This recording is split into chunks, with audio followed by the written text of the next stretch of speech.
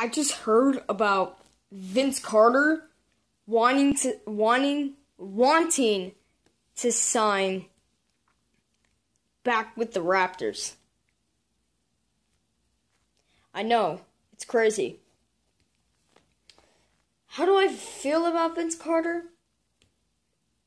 I feel he's left out. Like I feel like he should have been signed with the team already. I feel like he was going to go to a team that would that would just let him retire that team. I thought he was going to go to the Knicks.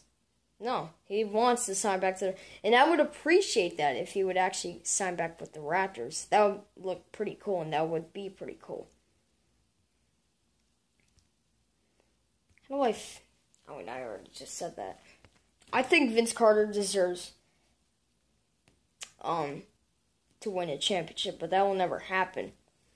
And I think he deserves to have his last season in Toronto, Ontario, Canada, with the Raptors.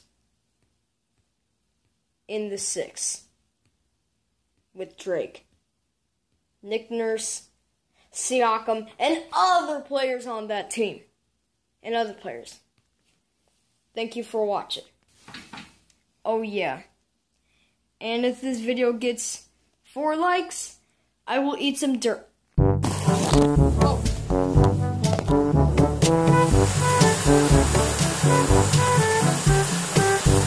Here we go.